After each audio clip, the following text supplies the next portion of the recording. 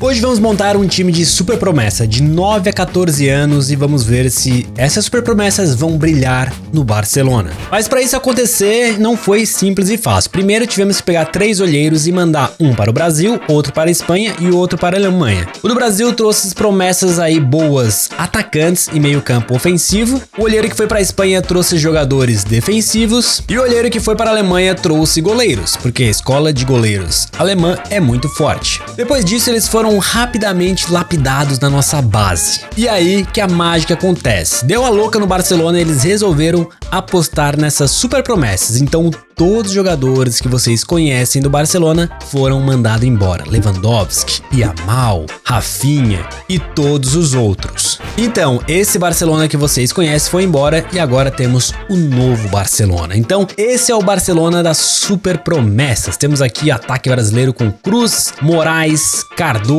Duarte. Aí temos aqui dois meio-campos espanhóis, o Sans e o Crespo. Temos aqui o Figueroa, que é espanhol, Oliveira, Monteiro, Carvajal e no gol o Winkler. E esses são os nossos reservas. A gente aqui observa as super promessas. O melhor atualmente é o volante Sans. Inclusive, ele tem 2 metros e 38 e apenas 9 anos. Depois vem o goleiro alemão com 1,43m, baixinho, porém 86 de classificação geral. E depois, em terceiro lugar, temos o brasileiro que é ponta esquerda e tem 2 metros 44, o Eduardo Cruz com 86 de classificação geral. Esses então são os melhores jogadores das super promessas do Barça. Os mais jovens têm apenas 9 anos e o mais velho do time é esse argentino com 15 anos. E bom, eu sei que vocês vão perguntar, como é que você botou jogadores de 9 anos no time profissional? Aí é o poder da edição, ok? Usei umas coisinhas aqui pra gente habilitar essa função e fazer experimento maluco. Por isso que eu falo, quer experimento maluco? Já deixa muito like, dê sugestão aqui embaixo. E a minha maior curiosidade é saber como esse time vai evoluir, já que eles são muito jovens, não tem nenhum outro jogador experiente para jogar com com eles e a gente vai simular aqui a temporada. Vamos ver se eles vão conseguir ficar ainda melhor. Lembrando a todos, são super promessas e vamos ver como eles vão render nos campeonatos. Chegamos na metade da primeira temporada. Primeiro então olhar aqui estatística. Olha só, o Cruz, o brasileiro ponto esquerdo evoluiu, tava com 86, né? Ele é o artilheiro do time em 33 jogos, vem fazendo aqui 16 gols e tem 6 assistências. Depois vem o Cardoso, que também é brasileiro com 13 gols, depois vem o Moraes aí com 11. Tem o Duarte com 9, bastante jogadores aí participando em gols. Liga só. Na assistência, o Cardoso é líder com 8 assistências. Na La Liga, eles não estão fazendo feio, tá? Tem aqui 38 pontos, tá na quarta posição. Um time que o mais velho tem 15 anos, tá bom demais, né? 38 pontinhos, o líder é o Real Madrid, que tá muito bem com 56 pontos. Na Supercopa da Espanha, eles perderam a final pro Real Madrid 3 a 2. Na Copa da Espanha ainda vai rolar, eles vão pegar aqui o Burgos CF. UEFA Super Cup, só pra gente dar aquela espiada, o Real Madrid levou 3 a 0 em cima do Bergamo. E na Champions League, ficamos na 28ª posição aqui com 8 jogos, 2 vitórias, 2 empates e 4 derrotas, somando 8 pontos. Eu acho que caiu para a UEFA Europa League. Olhando aqui na UEFA Europa League, eu não achei o Barcelona, não sei se vão entrar ainda ou não estão participando de fato, foram eliminados de tudo talvez. Tem alguns jogadores que estão meio que fora de posição, eu vou tentar resolver isso agora, tá? Como por exemplo, o nosso volante que tem 88, ele tá jogando de meio campo central aqui, então eu teria que fazer ele se tornar aqui um meio campo central, a mesma coisa aqui desse Crespo, que é lateral direito e volante, mas pelo jeito tá computando só como se ele fosse lateral direito, porque ele tá perdendo muito de classificação geral. E tem outros aqui, como esse aqui que é lateral esquerdo e zagueiro e esse aqui que é zagueiro e lateral direito. Inclusive, se eu fizer isso, o time arruma, não sei porquê, mas enfim. Pronto, problema resolvido, agora todos estão nas suas posições originárias aqui da tática para não ter problema nenhum e vamos simular a outra metade da temporada para saber se esse time vai melhorar, se essas promessas vão evoluir mais e como tudo vai terminar nessa temporada. Final da temporada, vamos ver o que nossas promessas aprontaram. É, e parece que as coisas não foram muito bem não, eles estavam em quarto, terminaram em sétimo a La Liga, né? Caíram aqui,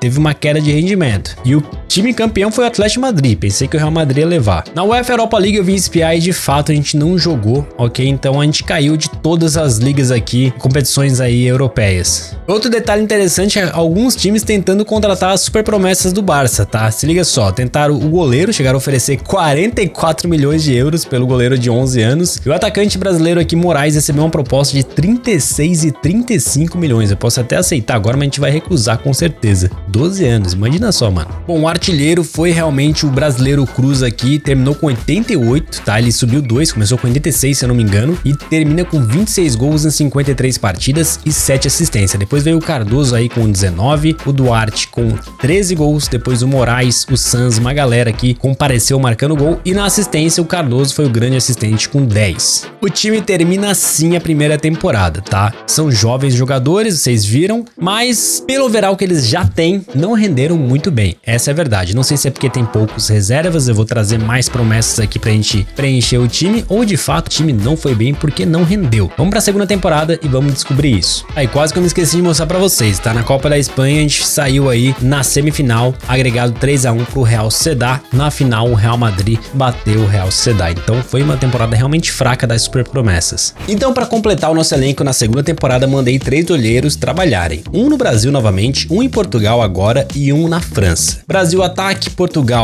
meio campo e França defesa. O resultado foi mais super promessas, tá? Temos aqui alguns destaques. Como por exemplo esse aqui, ó, o Agostinho Sampaio português que já apareceu com 88 e 10 anos. Se isso aqui não vai ser o melhor do mundo, eu não sei o que ele vai ser. Praticamente um ET já. Também outro brasileiro aqui com muito destaque, o Diogo da Silva, ponta direita, 88 de potencial e já tá com 87. O goleirão da Alemanha que já tava aqui, mas antes ele tinha 8 anos. Agora ele completou 9 e ele pode subir pro elenco profissional. E simplesmente tem um jogador português que tem 7 anos. E nem com as minhas edições eu consigo promover ele pro time principal. Porque ele é muito novo, mano. 7 anos. Que doideira. E tem muito outros aqui que a gente conseguiu revelar. E eu estou subindo pro time profissional pra gente ter mais opções para essa segunda temporada. A primeira mudança é o Miranda. Ele acabou de chegar e já vai roubar a vaga do Crespo. Ele tem 85, Crespo tem 72. Outro que chega aqui roubando a vaga com tudo é o Diogo Silva. Vai pegar a vaga do Cardoso, que fez uma primeira temporada interessante. A grande promessa portuguesa Agostinho Sampaio chega roubando a vaga do brasileiro Duarte, tá? Ele já tem 88. Que isso, mano? Isso aqui é um absurdo. O brasileiro Azevedo aqui também vai ser titular no lugar do Moraes. Bernard, zagueiro francês que acabou de chegar, também vai roubar a vaga aqui do Monteiro, que só tem 80. O Bernard tem 83. E essas foram as principais mudanças aí para a segunda temporada. Agora a gente vai simular para ver como as coisas vão andar. Estamos na metade da segunda temporada, vamos ver o que tá rolando agora. Bom, aqui na Copa da Espanha estamos nas oitavas de final, nas quartas de final na verdade vai enfrentar o Eibar. Na La Liga as promessas estão melhores, hein? 49 pontos, um pouquinho atrás do Real Sociedad e do Real Madrid. Dá para bliscar uma vaga para Champions League nessa temporada se eles continuarem assim. Estamos participando da Conference League, ficamos em oitavo aqui na Conference League, então acho que a gente foi para as oitavas direto e não aqui na pré-oitavas. O artilheiro do time nessa temporada é o Eduardo Azevedo, que tem 84 classificação geral, atacante aí, com 23 gols em 30 jogos. Depois vem o Cruz, que é o melhor jogador do time, tá com 89 já, ele é gigantesco, né, mano? 13 gols e 11 assistências, e o Cardoso aí segue bem de novo, 12 gols e 10 assistências. Líder de assistência é o Cruz. O jogador mais valioso no momento é o Cruz, ele vale 118 milhões de euros com 11 anos. Depois vem o português Sampaio, que é baixinho, mas é muito bom de bola, ali tá valendo 99 milhões Cardoso 91, uma galera que vale muita grana. Inclusive o português aqui, que tem um overall muito alto, ele tem números fraquíssimos, né? 25 jogos tem jogado, só tem 3 assistências e não tem nenhum gol. Ele vai rendendo muito pouco. Só quando a gente dá uma olhada geral no time, ó, tem jogador bem, tem jogador evoluindo. Azevedo vem aproveitando a oportunidade essa temporada. A grande decepção até agora é o Sampaio. Eu pensei que ele ia voar, mas ele não tá rendendo. Final da segunda temporada e olha só a molecada conquistou um título. Simplesmente campeão da La Liga com 88 pontos, 28 vitórias, 4 empates, 6 derrotas apenas, 80 gols marcados, somaram 37, deu liga, hein? As super promessas conseguiram. Campeões ali com 14, entre 9 a 14 anos. Já na Copa da Espanha não deu certo, o Real Madrid levou 3 a 1 na final. O UEFA Super Cup, só pra gente dar uma olhada, o Liverpool foi campeão em cima da Roma. Champions League vai rolar a final entre Atlético de Madrid e Inter de Milan. UEFA Europa League já rolou, o Napoli foi campeão. E a UEFA Conference League, a molecada também chegou na final. A gente vai simular agora essa partida. Bom, resolvi assistir a partida com vocês. Se liga só, manos. Alguns jogadores muito baixinhos, outros tamanho normal, como esse aí, que é o Sampaio. Não, esse é o Sampaio é baixinho mesmo. O Sampaio é bem baixinho, hein? Já tocou a bola na frente? Vamos, minha molecada. E olha só, tá vindo o Red Bull Salzburg. Nosso goleiro é baixinho demais, mas ele pula, mano. Ele pula muito. Cara, olha os nossos jogadores. Tem alguns gigantescos na área, mano. Se liga só que coisa bizarra, velho. Tem três jogadores gigantes, tem alguns minúsculos. E assim a gente vai. Esse é o craque. Esse, esse é o cara. Fala dele. É, são as promessas mutantes, na verdade, né? Não são as super promessas. Boa. Vai o Sampaio. Ah, Sampaio, para com isso, velho. É muito da hora essa visão aqui tática, né? Você consegue ver com várias câmeras, olha só. Eles estão chegando. Boa. Deixa não, deixa não. Vai, mano. Aqui, aquele ponto ali é muito baixinho. Caramba, estão chegando, velho. Não. Vai, meu goleiro pegou. E agora? Tira daí. Tá maluco. Mais escanteio pra eles, bola na área. Vai, isso, é alto, velho. Vai, vai, vai, vai. Vai levanta ele. Cuidado! O goleiro é bom, velho. O goleiro ele cata, hein? De novo eles chegando pra fora. Vai passar ali, ó. Ah, segurou. Boa bola. E agora? E agora? Pegou o goleiro. Sem querer mudei a câmera, mano. Foi mal. Vamos no escanteio então. ele cruzou pro mais baixinho. Tá de sacanagem, né? Cara, tinha uns caras altos na área. Ele cruzou pro mais baixinho. Vambora, vambora. Vai, time. Ai, forçou quase, deu certo. Ô, louco, essa câmera eu não tinha visto ainda, mano. Que câmera doida, olha só, velho. Vamos ver, eles estão atacando aí, vai chegando. Tira daí. Os caras chegando, tocando a bola, não deixa jogar não. Deixa jogar não, time. Uh, salvou o zagueiro. Rolou a tabela aí, hein? Vai pra cima, mano. Isso, dá Ah, impedido. Agora vai meu Portuga, vai meu Portuga. Opa! Vai fechar até o tempo com minhas promessas aí, hein? Cadê o Altão pra meter uma moral agora? Cartão amarelo foi pouco, hein? Foi maldade. Eles chegando, vai chutar, hein? Tá com espaço, boa. De novo, tá chegando de novo. Deixa não, boa. Hum. Caraca, golaço. Que isso? Matou o nosso goleiro baixinho, velho. Mas foi um golaço absurdo. Driblou bonito, soltou o pé. Olha lá, meu goleiro. Ah, ele pulou, mas não deu. Vamos ver se o time vai criar alguma coisa agora, ó. Vamos ver se o time vai criar alguma coisa agora. Ai, não deu. Tem que chutar, gente. Tem que chutar. Ah, chuta firme.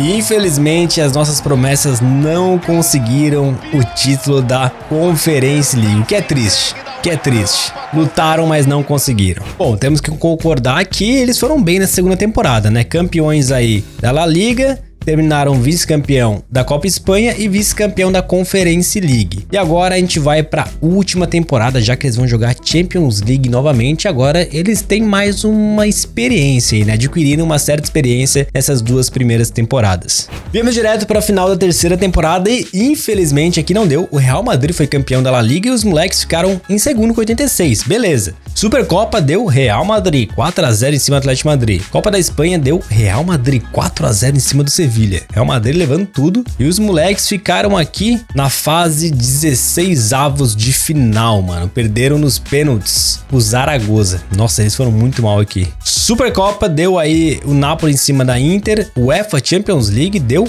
Bayern de Munique. E o Barcelona ficou na pré-oitavas, acabou sendo eliminado por Rangers nos pênaltis. Ô louco, foram muito mal essa temporada. Na La Liga foram ok, no resto foram mal. Assim termina então aí as super promessas. O brasileiro Cruz conseguiu romper a barreira do 90, chegou a 91 de classificação geral. Tá, o goleirão aqui alemão chegou a 89, Cardoso chega a 89 também, tá? Azevedo brasileiro fica com 86, aqui temos o Sampaio que não evoluiu mais, o português, né? 88, o espanhol Sanz chega a 89, deixa eu ver aqui a reserva, tem outros jogadores que evoluíram aqui também, tá? Se liga só, acho que o Silva 87, Borges 85 e aqui os outros reservas também, alguns jogadores não evoluíram tanto. Eu sinto que quando não joga, não evolui de jeito nenhum, né? Isso aqui ficou travado 79 aí o vídeo inteiro. O artilheiro da temporada foi o Azevedo com 30 gols, foi bem, uma assistência. Olha o Cardoso, 20 gols e 20 assistências, tá? 40 participações em gols em 50 jogos, voou. Ele tá com 16 anos. Agora tá chegando uma idade aí para ser uma super promessa na vida real, né? Agora com 16 anos ele já tá metendo 20 gols e 20 assistências. O Cruz, aqui com 12 anos, fez aí 14 gols e deu 6 assistências. E cara, é isso, as super promessas então fizeram a sua parte, tá? Deixa eu ver quem foi o mais valioso aqui, foi o Cruz, né? 142 milhões, termina aqui valendo o Cruz, depois vem o Cardoso, depois o espanhol, o Sans. O mais velho do elenco é o argentino aqui, tá? O Valentim, que